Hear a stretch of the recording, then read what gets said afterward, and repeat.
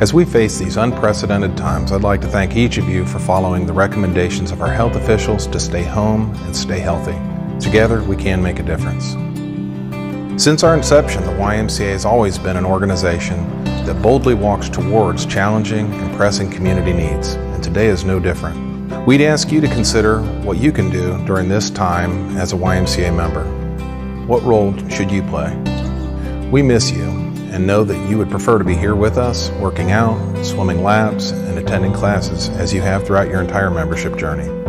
But today, we're asking that you stay with us, not as a facility member, but as a cause-driven member. As our Y responds to the needs of our community in the wake of this crisis, we ask that you retain your membership. We realize that not all of you will be able to do that, but if you can, please retain your membership. The Y isn't just another gym, and while we are part of a nationwide organization, each YMCA is supported by locals to serve locals.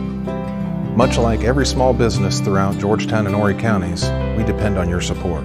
So please, if you can, stay with us to ensure that our Y remains strong during this difficult time and that we are poised to help those neighbors that will need us the most. Thank you for your partnership, for your support, for your trust, and for staying with us as part of this movement we call the YMCA.